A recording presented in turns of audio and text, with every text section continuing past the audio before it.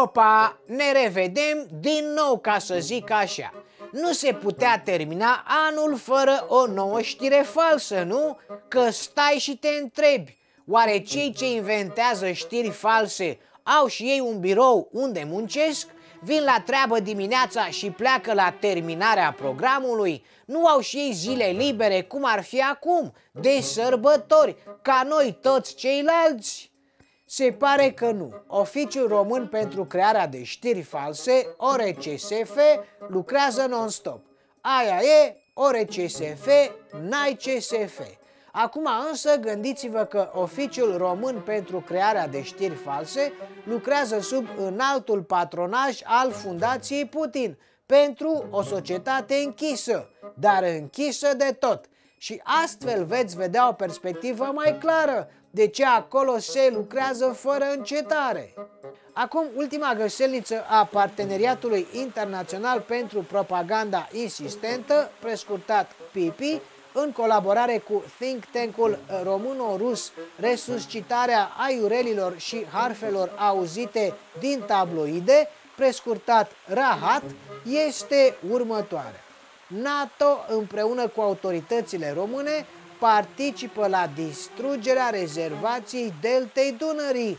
Asta pentru că nu ar mai încăpea navele NATO printre lipoveni și din această cauză se va rupe efectiv o bucată din rezervație, punând în pericol ecosistemul din zonă după ce, conform altei teorii create de Biroul Eurasiatic pentru tâmpirea iremediabilă a vecinilor aliați NATO, prescurtat Bețivan, ucrainenii ne-au dat gaură la delta prin canalul Băstroie, furându-ne mâlul care ni se cuvenea din moși strămoși, acum iată altă belea.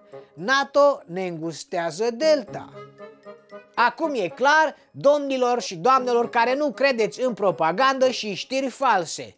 Ăștia vor să ne distrugă delta ca să nu se mai verse Dunărea la noi. Da, o să curgă Dunărea până la insula mare a Brăilei și dacă nu mai e delta, atunci fluviul va face un ocol pe lângă insula mare, adică o să o ia pe podul de la Brăila și se va duce înapoi pe unde a venit, până în munții Pădurea Neagră, Nabelea.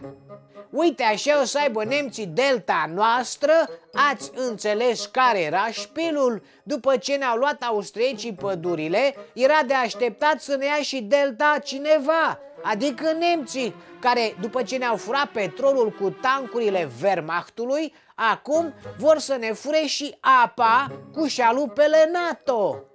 Dar ce prostie, unde vezi tu apă în delta? E numai vot cabrei. Poate să-ți confirme asta orice lipovean, ori hahul care trăiește de sute de ani în delta, care n-a mai văzut apă de când au fugit strămoșii lui de prigoana rusească în viitoarea noastră țară. Și acum o altă întrebare. Stați așa, deci vin navele militare ale NATO la noi în delta Adică o să putem fura motorină nu doar de la tancurile NATO de la Cogălnicianu, ci și de la navele NATO de la Tulcea? Atunci mai dă un colo de delta, frați români! Pregătiți canistrele!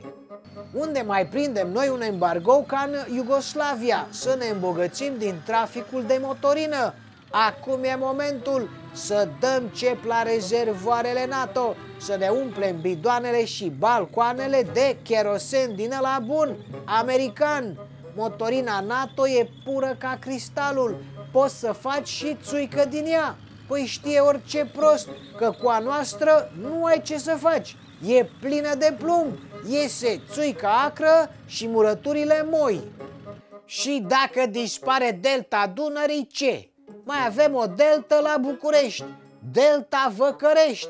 E mai interesantă decât delta aia mare, pentru că are lângă ea și târg de piese auto. De delta asta mică nu se vor apropia niciodată forțele NATO, poate doar dacă vor să rămână fără ștergătoare și oglinzi, la tancurile Abrams, plus că sistemele lor patriot nu ar face niciodată față la patrioții adevărați de la București, care iau de bună tot ce le zice Moscova și apoi repetă și ei ca papagalii, Rusia da, NATO nu, Rusia da, NATO nu.